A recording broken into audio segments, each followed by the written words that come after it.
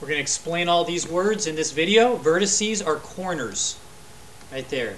That's a vertex, a vertex, a vertex. Singular of the word is vertex. Plural of that word is vertices. Flat faces are these. That's a flat face. Um, this is a flat face right on there. That's a flat face. Anything that's an actual shape, a polygon, that's flat is considered to be a flat face. A curved face is what you would see on a sphere because it's it curves around, it doesn't lay flat. A base is something that's like not a polygon that's at the end of a shape. So this shape has two bases.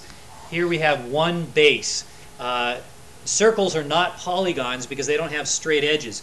And bases are things that do not have, uh, or that are not polygons. Now, on a pyramid, we also consider this down here at the bottom to be a base because that's like where it sets.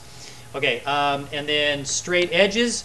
These are all straight edges. Any of the lines that make up the shape are straight. Now, there's no edges on this cone. These lines you see here are just the, the part where it disappears and goes back off into no man's land back there. Same thing here. That's just going back. There's actually not an edge right there. But these other shapes all have all these straight edges on them. Uh, curved edges, that's what you would see here as a curved edge. Here's a curved edge. Here's a curved edge.